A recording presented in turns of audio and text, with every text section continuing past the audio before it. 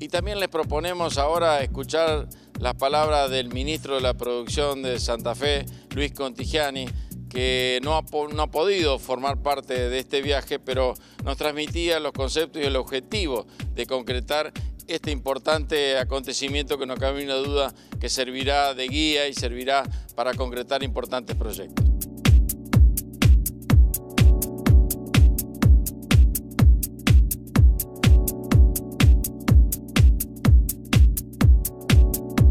Santa Fe es una tierra de pymes lácteas por excelencia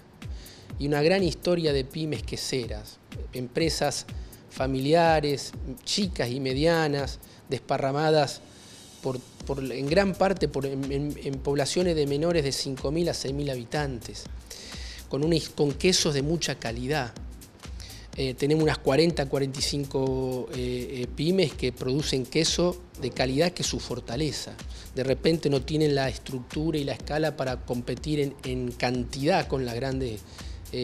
usinas, pero tienen la fortaleza en la calidad. En ese marco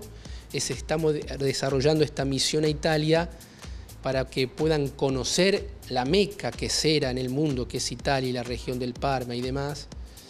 eh, para que puedan seguir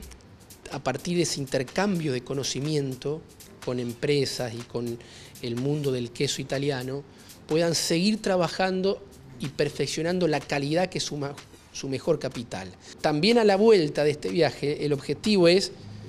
eh, integrarnos, porque también es cierto que eh,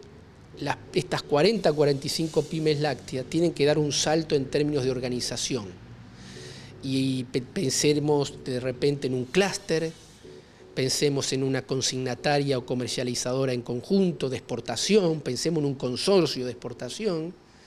porque eh, son pymes que están ya en condiciones de, por calidad y algunas ya de producción industrial, de empezar a hacer sus primeras exportaciones, por lo menos al mercado latinoamericano.